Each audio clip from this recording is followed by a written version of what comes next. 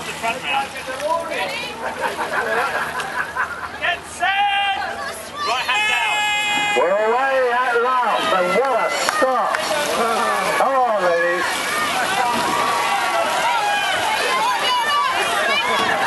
Some tactical barging going on here.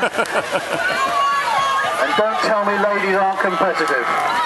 The rubber duckers, and of course the WI Extreme Sports. Now the Cam Football and Cricket Club seem to be taking a particularly interesting route. Break, they'll win. Proud team, people waiting, may well be exceeded. Look at them taking down. Come on, Los Padelos. Girls, go straight. Yeah, that's the one. Nailsworth Rotary are just realigning themselves. Come on, ladies, you can do it. All's in together, and you'll go in a straight line. Well done.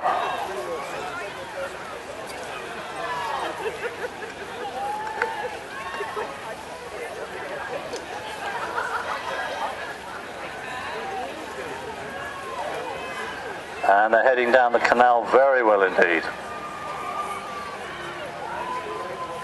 I think you all have to agree that the crews really have performed so well, and the standard of the actual oarsmanship or oarswomanship, as the case may be, has been quite a spectacle for everyone.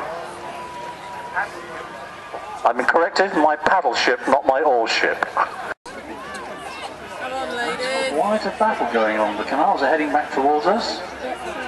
There's the Stroud team, the Rubber Duckers, the Nailsworth ladies, the Maiden Voyagettes, and of course the WI Extreme Sports on Los Padelos. They seem pretty well matched from where I'm standing.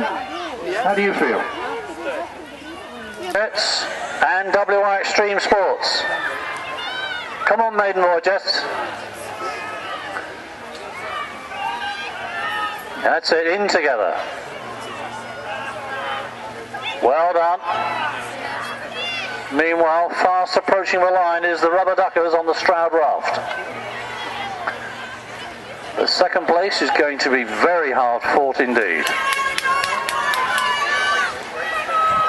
Well, how about that? I've not seen an oars person or helm person paddling before. Is that allowed, Mr. Mr. Judge?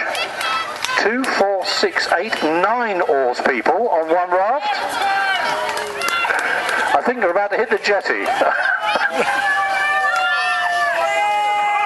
well done at home.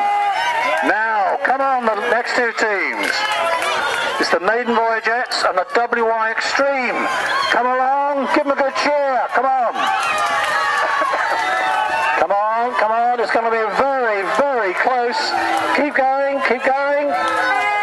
Whoa. What a close finish. Thank you, ladies, and a really exciting finish there. Second place did in fact go to the WI Extreme Sports, and third place, and very well earned, to the Maiden Voyagettes from Nailsworth. Well done, ladies. One